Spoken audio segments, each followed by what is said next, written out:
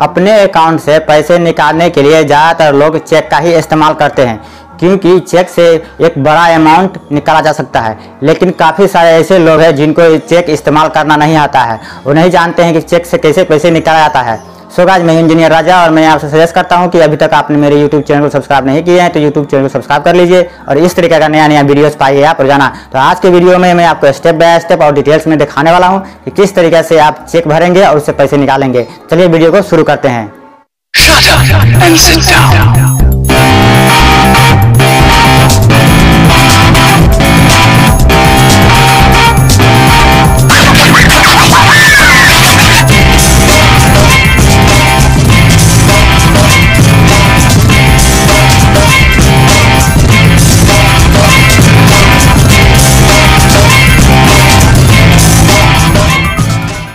Check से पैसे निकालने के तीन सिचुएशन हो सकते हैं। पहला है कि आप अपने बैंक से अपने चेक से खुद कैश निकाल सकते हैं और दूसरा है कि आपको कोई चेक दिया है तो उसको आप कैश करवा सकते हैं। और तीसरा है कि आपको कोई चेक दिया है तो आप उसको बैंक अकाउंट में ट्रांसफ़र करवा सकते हैं। पहला सिचुएशन आ जाता है आपको कि अगर आप चेकबुक से पैसा निकालना चाहते हैं तो आप कैसे निकालेंगे? सबसे पहले यहाँ पे डेट मंथ और ईयर डालेंगे, जो भी डेट है। जैसे आज एक मार्च है तो यहाँ पे एक तीन और दो हज़ार इक्कीस लिखेंगे। दूसरा ऑप्शन आ जाता है यहाँ का आपको पे का। तो यहाँ पे अगर आप खुद निकालना चाहते हैं तो यहाँ पे सेल्फ लिखेंगे। अगर आप किसी पर्सन को देना चाहते हैं, किसी कंपनी को देना चाहते हैं, ये चेक बना के तो वो पर्सन उस कंपनी का नाम यहाँ पे आप पूरा डिटेल में यहाँ पे डालेंगे। अगर आप खुद निकालना चाहते हैं तो यहाँ पे डालेंगे सेल्फ यहाँ पर हमको सेल्फ लिखना है, इस पे में मिला के।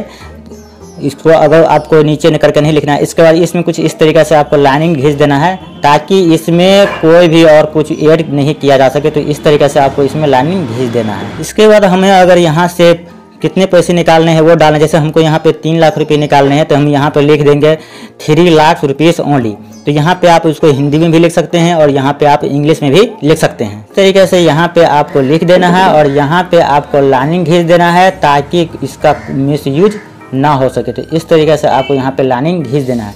इसके बाद यहाँ पे आपको अंकों में डाल देना है, कितना पैसा निकाल रहे हैं तो वो आपको यहाँ पे अंकों में लिख देना है।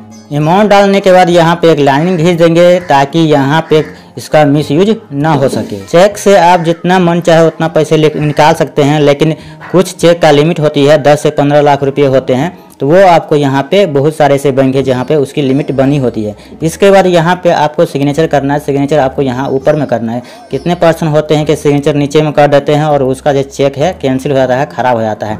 तो आपको नीचे सिग्नेचर नहीं करना है। सिग्नेचर आपको यहाँ पर करना है, इस तरीके से।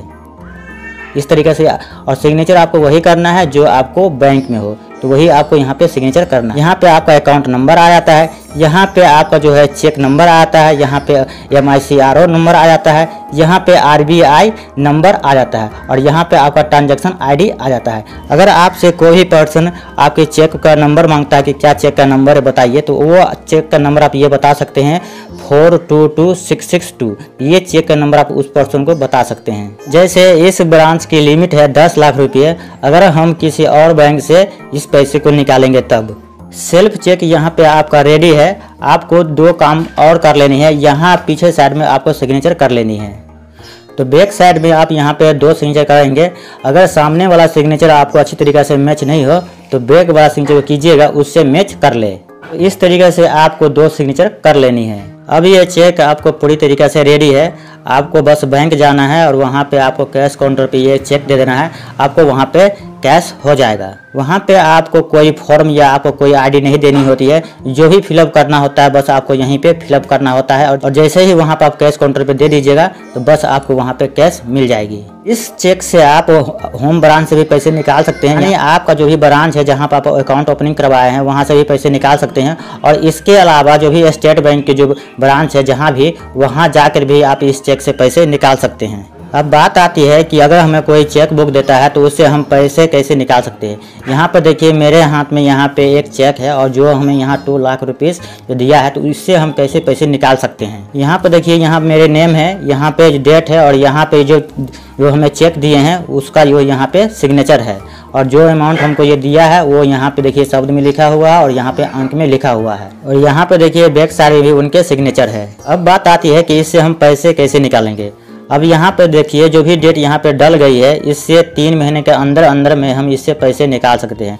नहीं तो ये चेक इनवैलिड हो जाएगा, ये एक्सपायर हो जाएगा, ये चेक का कोई मतलब नहीं रह जाएगा, ये चेक खराब हो जाएगा। यहाँ पे आपको ध्यान देने वाली बात है कि यहाँ पे देखना है कि कोई लाइन तो नहीं लगी हुई है। यहाँ पे अगर लाइन लगी रहेगी तो आप इसको कैश नहीं करा सकते हैं। अगर ये अगर लाइन नहीं लगी हुई है तो आप इसको कैश भी करा सकते हैं। कैश लेने के लिए इसी नाम से मेरे पास आईडी होनी चाहिए और इसी नाम से हम आईडी लेंगे और इसके साथ हमको पिन करनी है। इसके साथ हमको लगानी है। इसके बाद हम उस मोबाइल नंबर लिखेंगे, अपना सिग्नेचर करेंगे आईडी पे और किसी भी ब्रांच में जाके हम बहुत ही इजीली वहाँ से कैश ले सकते हैं। तो इसके लिए भी हमें कोई फॉर्म फिलअप अलग अलग से करने की ज़रूरत नहीं है। जितनी भी फॉर्मेलिटी है, इस पर पहले से यहाँ पे भरी हुई है। बस इसके अलावा हमें कोई आईडी लेनी होती है जो इसी नाम से है, उस पर अपना मोबाइल नंबर और अपना सिग्नेचर करके बस इसके साथ लगानी होती है। अब बात आती है तीसरी सिचुएशन की। हमें कोई चेक देता है और यहाँ पे लाइनिंग लगी हुई है और इस तरीके से लिखा हुआ है। इस तरीके से अगर लाइन बनी हुई है, तब हम इससे पैसे कैसे निकालेंगे? तो इससे पैसे निकालने के लिए आप जो भी बैंक में अकाउंट है, उस बैंक में जाएँगे और वहाँ पे आपको एक फॉर्म मिलेगा। वहाँ पे लिखा रहेगा चेक बुक का ऑप्शन वहाँ पे चेक का ऑप्शन रहेगा। जैसे फॉर्म भरते हैं तो वहाँ पे चेक का ऑप्शन रहता है कैश का ऑप्शन रहता है तो वहाँ पे चेक वाले पे जो है आपको टिक कर देना है। वो तो फॉर्म में आप अपना नाम डालेंगे, अपना मोबाइल नंबर डालेंगे, अपना एड्रेस डालेंगे और आपका अकाउंट नंबर है, वो डालेंगे और चेक जो ऑप्शन रहेगा, उस पर आपको टिक लगा देनी है। स्लिप में दो पार्ट होती है दो पार्ट में एक पार्ट को आपको बैंक में देना है और एक पार्ट को अपने पास रखना है अपने रिकॉर्ड के लिए। फॉर्म जो है आपको जो है, ये वाला जो है आपको चेक है, इसमें आपको अटैच करके पिन लगा के आपको वहाँ पे काउंटर पे जमा कर देने हैं, जहाँ पे कैश काउंटर जहाँ पे पैसे मिलते हैं कैश मिलते हैं, वहाँ पे आपको जमा कर देनी है। बहुत ही इजीली वहाँ पे आपको पैसे मिल जाएगा। यहाँ पे आपको कोई आईडी वगैरह लगानी नहीं होती है, क्योंकि आप पैसे अकाउंट में ले रहे हैं तो अकाउंट में ऑलरेडी जितने एड्रेस है, वो सभी पहले से भरी हुई रहती है, दी हुई रहती है तो आपको अलग से कोई आईडी देने की ज़रूरत नहीं होती है। बस वो फॉर्म और ये चेक लगा के आपको कैश काउंटर पर दे देना है। आपका जो अमाउंट है, आपके जो चेक पे अमाउंट है, वो आपके जो खाता है, वो खाते पे आपको ये अमाउंट ट्रांसफ़र कर दी जाती है।